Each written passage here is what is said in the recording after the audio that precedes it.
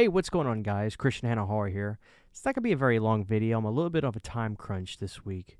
But I wanted to talk about a movie that I don't think I've ever really talked about in depth before. And I'm not going to get too deep and break down the movie so much, but just talk about it. You know, one of the movies that I've heard so often about in, an, in a certain light is the movie Day of the Dead. Um, now, Day of the Dead is the third in the Romero Dead cycle. Now, there would be more after this, but to a lot of people, there's three of them there's night, dawn, and day. And while I'm not here to really argue that or say that the others after it don't have merit, like Land, etc., there's no denying that the first three Dead movies are so iconic. They're in the pop culture of horror and some of the biggest horror films ever made. But one thing I could say about Day of the Dead was the first time I watched it, I didn't really have that much of an opinion on it. And I felt bad about that. But the irony is, when I would look into the film more, I saw that a ton of people felt the same exact way. Maybe it was because Dawn of the Dead was so well received and so regarded as this masterpiece of American horror from George Romero that Day of the Dead was just like a band that changed its complete sound, and you're just like, what's going on? You know, it's like listening to an ACDC record from George Romero that you know the way it's supposed to sound and what it should be, but then it sounds like Rush or something, or it sounds like Pink Floyd. It just throws you off. Not that it's necessarily bad. But it would be a film that I would constantly want to revisit because something about Day of the Dead constantly made me want to go back and say, I refuse to say I don't like this film. I got to see what it is about this film that I'm just not getting. And I really think that I wasn't necessarily not getting anything about the film. It's just that it wasn't what I expected it to be. Dawn of the Dead is this grandiose, over the top, great movie about zombies in a mall, and there's chases and, and action and great sequences.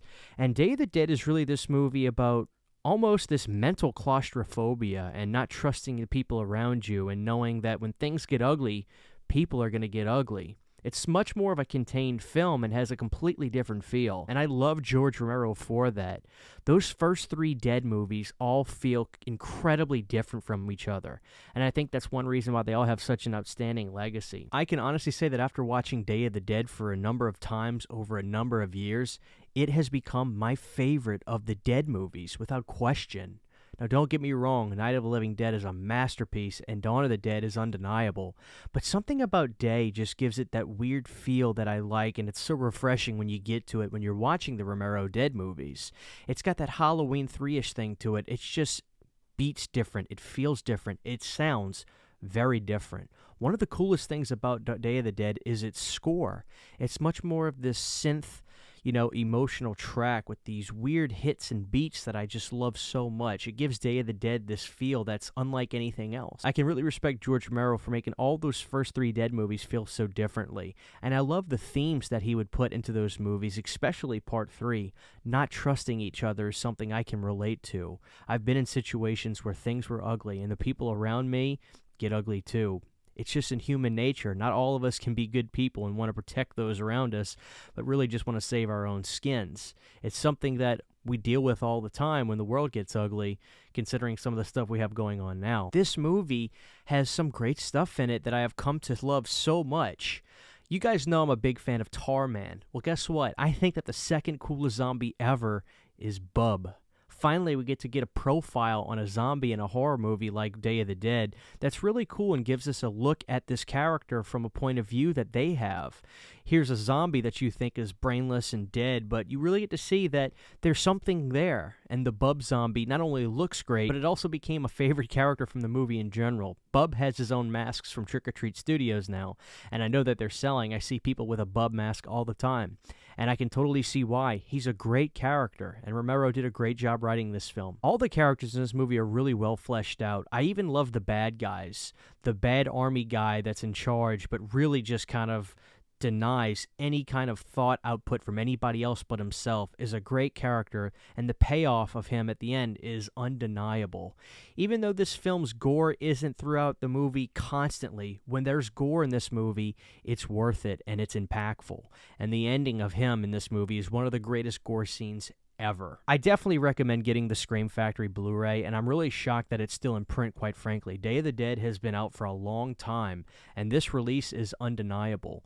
The interviews with George Romero on here are so great, and rest in peace to him. I miss him till this very day.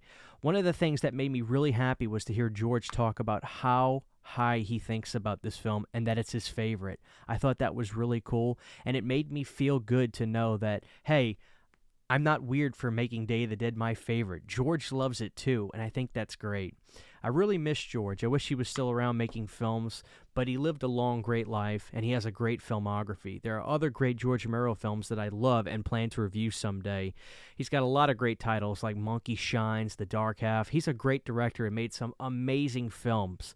But if I was going to tell one person that's really a George Romero newbie to get into him, even though it would be out of order, I would say Day of the Dead's one of his all time bests. You definitely need to check it out. So I ask you guys, what are your thoughts on Day of the Dead? Are you a fan of it, but it took you a little while to get into it?